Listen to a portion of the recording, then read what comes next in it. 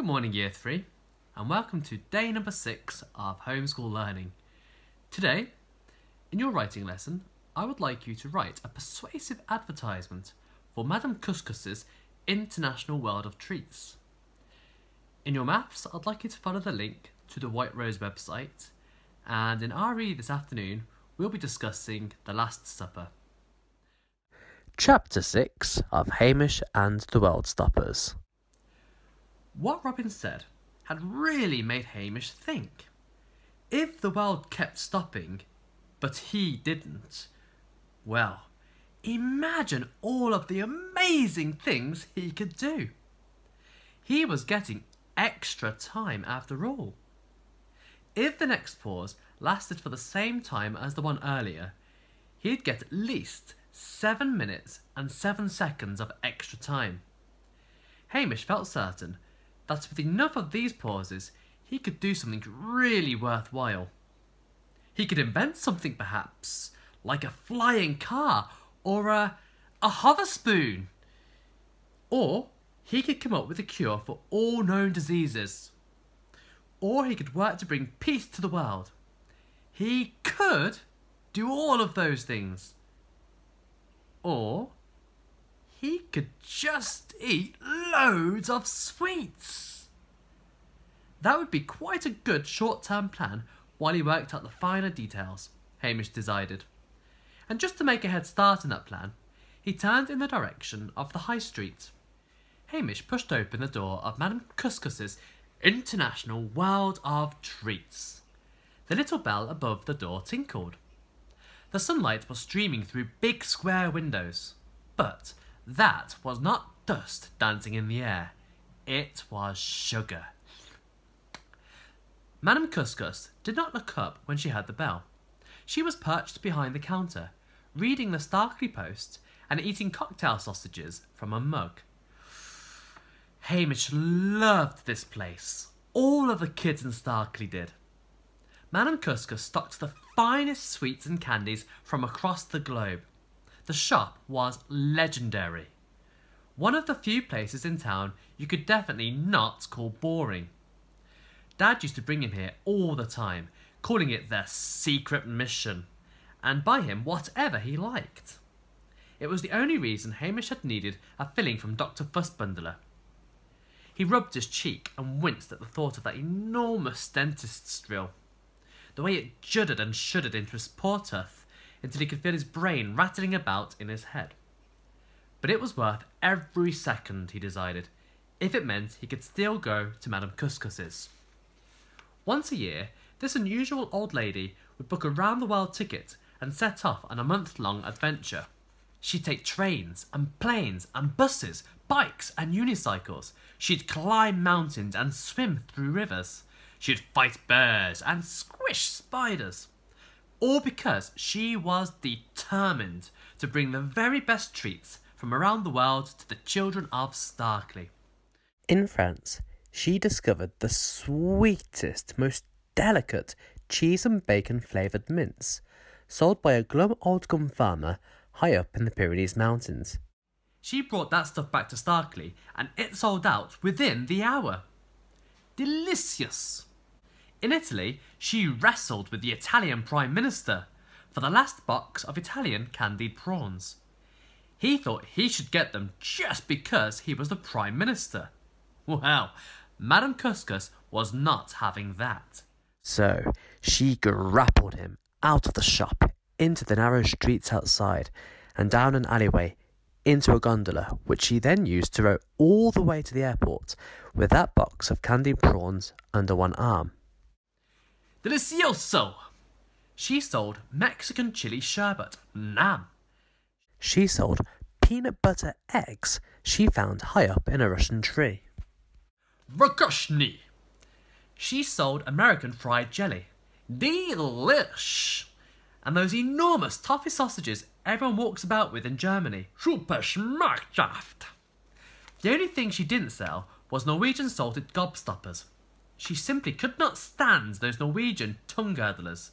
They offended her so much, in fact, that she had banned all Norwegians from her shop. So, because she wanted the kids of Starkley to have almost all of the sweets of the world, you might imagine that Madame Couscous was quite a lovely woman. And she was. Until the day she wasn't. She had returned in February from a month long trip away with absolutely no new sweets. Just a packet of Tic Tacs she brought at the airport. Her cloud of white hair, which had once been so soft and so thick, was now a dark grey. Like each and every hair was suddenly in a bad mood. Her once rosy cheeks seemed to have spread, so that now her whole face was a particularly angry red. And whenever anyone asked her what had happened to make her this way, she would bark at them like a very fierce dog. It was rather odd to see a grown woman barking like a dog. Many people wondered whether she'd been swapped for her own evil twin. That was how bad and mean she'd become. Now, Madame Couscous even kept a gnarled brown stick behind her counter, with which she'd hit children if they took too long to get their change out. It wasn't even their fault they took so long. Their poor little hands were shaking because they knew this fearsome OAP would rap their knuckles or thwack their backsides with that big long stick like it was nothing at all. Some kids would spend all evening picking splinters out of their bottoms after a visit to Madame Couscous, which meant that Hamish now approached the counter with caution. Underneath a large white sign that said, Only one and a quarter school children at a time, Madame Couscous looked up at him, bored. Yes? she said. Um, said Hamish, trying to decide what sweet to ask for. What do you mean, um? said Madame Couscous, slamming her fist down on the desk with such force that an entire bottle of Brazilian banana babies shook on the shelf. What does that big red sign say? Hamish looked up at it. It's it say, says no Norwegians, he stuttered. Madame Couscous closed her eyes, furious. Not that big red sign, she yelled. The other one! Hamish read the sign next to it. Well, well, that one says complete silence? Exactly! She shrieked, pointing one skinny finger at him. And you just spoke! But, but, but, but, but you asked, you asked me a question, said Hamish desperately. You said yes? So what? She said, bringing her big stick out. You did not have to answer. You could have performed a small mime. A mime? Said Hamish. Stop talking, she yelled. I want complete silence. Did I not make that clear? Yes, said Hamish, but, but, but you, you, keep asking. Will you stop talking? She shouted. I, am I'm, I'm sorry, said Hamish, confused. I, I, honestly didn't mean. Right, that's it, said Madame Couscous, one snooty nose in the air. You are banned. Banned, said Hamish. And then he realised he'd said it out loud and quickly covered his mouth with both hands. Banned, she said. The ratty little mudmouth Hamish Ellerby is banned from Madame Couscous's international world of treats, and so are all of his friends forever. She wrote his name down in a ledger and finished with a flourish. This was awful. This was dreadful. Why was she doing this? No Polish butter lollies for you, she said with a foul and twisted smile, leaning in close to Hamish's face so he could see it properly. No Afghan aniseed, no Belgian bonbons, no Swedish cinnamons, no Chinese whispers. Hamish started to back out of the shop as Madame Couscous seemed to grow bigger and bigger and get angrier and angrier. Hamish could see that the door to the stockroom was slightly open. There were boxes and boxes of unopened chomps in there. There must have been millions. No Edinburgh eye poppers, she cried. No Fanaraki fizz whizzers! Nothing at all for you or your friends! forever. And then she began to bark, and Hamish turned and ran out of the shop. All Hamish could hear as he sprinted down the road was the cackle of Madame Couscous, gatekeeper of the sweets, and the howl of what sounded like a mad dog in quite some pain. When Hamish got home, he found his mum on the phone, looking very worried. She still had lipstick all over her face from this morning. Oh, poor Scratch and Mole, she said, putting their handset down. Such lovely little girls. Hamish scrunched his nose up. Lots of grown ups seemed to think Scratch and Mole were very polite and well spoken. They didn't realise they behaved like completely different children in front of other people's parents. Instead of growling things like, Come here, you winkle faced ninny hammer, they'd say things like, Oh, Mrs. Ellerby, you do look lovely today. Or, My, what a wonderful morning it is! How lucky we are to be alive! I bet you do that too, you little stinknit. What happened, Mum? asked Hamish. I saw the police at school. She sat him down. Their parents, well, they seem to have disappeared. What, all four of them? said Hamish. At once? Yes, said his mum. It's the strangest thing. Someone thinks they probably went on holiday to Magaluf and just decided to let the girls look after themselves. Ah, what a terrible, terrible thing. Hamish thought of his own missing dad, and his mum could see it. Oh, Hamish, she said, I know. We. But she didn't know what to say. What could she say? She'd usually just say, We have to just carry on.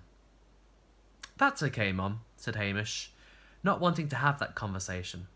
Uh, I'm going to go and get changed. Then I said I'd meet up with Robin. Hamish's mum looked at him sadly. Hamish turned away before she tried to talk to him about it again. Have you noticed something weird going on with the grown ups? said Hamish, sitting on his favourite swing at the park. He changed into his after school clothes his white jumper with the big blue H on, his black and white baseball shoes with the silver wings, and his cool black jeans. What do you mean? asked Robin, who had his binoculars out because he thought he'd seen a worm at the other end of the park. Robin was absolutely terrified of worms. That was why he always wore Wellington boots. It just feels like there's something weird going on, said Hamish. Like, how come Madame Couscous is so horrible now? Oh, said Robin, still on the lookout for evil worms. That place is scary. Oh, I don't go in there anymore.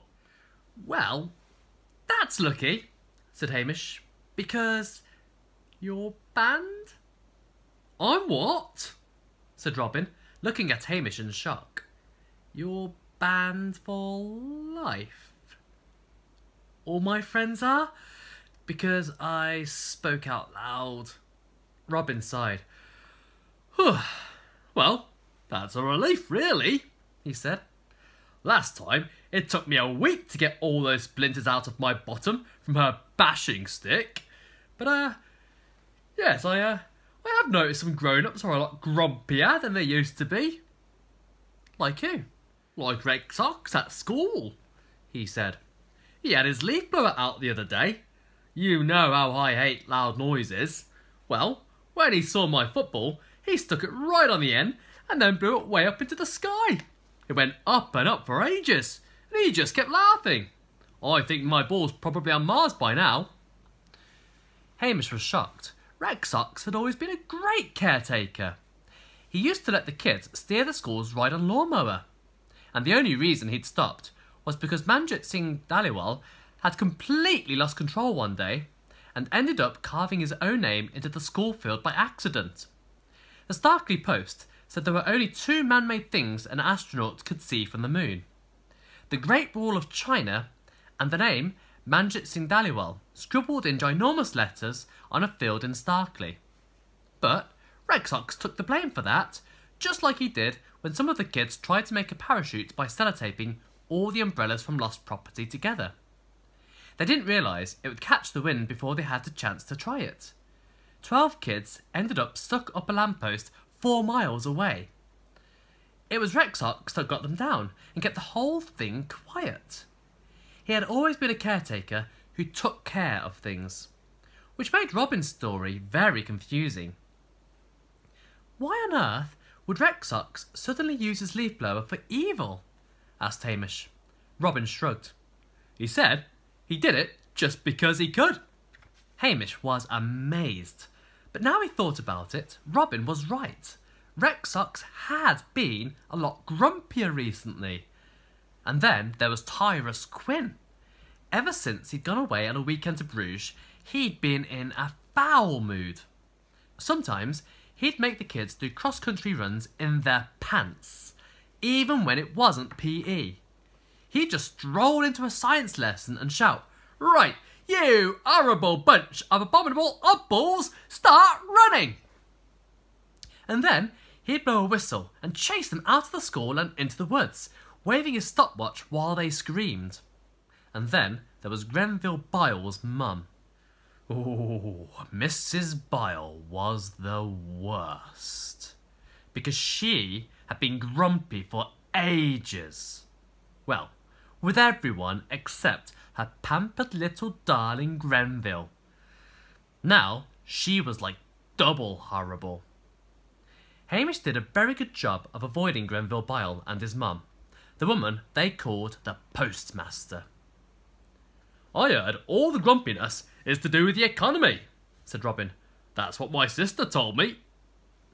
What does that mean? I have absolutely no idea, he replied. Hmm. Well, maybe the economy was something Hamish could sort out in the next pause. Surely, seven minutes and seven seconds would be enough for something like that. Briefly, he thought about telling Robin about what had been happening. It felt like too big a secret to keep to himself. But then again, this was a kid who was scared of worms, and leaf blowers, and sudden noises, and Velcro. Once, Hamish jokingly told him that The Wizard of Oz was based on a true story, and Robin hadn't left the house for a whole week. Hamish couldn't imagine what would happen if he told him the whole world was stopping. Oh, it's a shame about Madame Couscous, said Robin, before Hamish could say anything anyway. I promised my mum I'd buy her some Japanese jellyfish shavings for her birthday. Now I suppose I'll have to go all the way to Japan to get some. Or maybe, thought Hamish, there was another way. All he needed now was for the world to stop. So there we have it, chapter 6 of Hamish and the Worldstoppers. If you have any questions, Year 3, about today's work or about the book, or if you just want to chit chat, please do contact me on my email address, year3 at stalburnrc.beham.sch.uk. Until tomorrow, stay safe, look after yourselves, and I'll see you soon.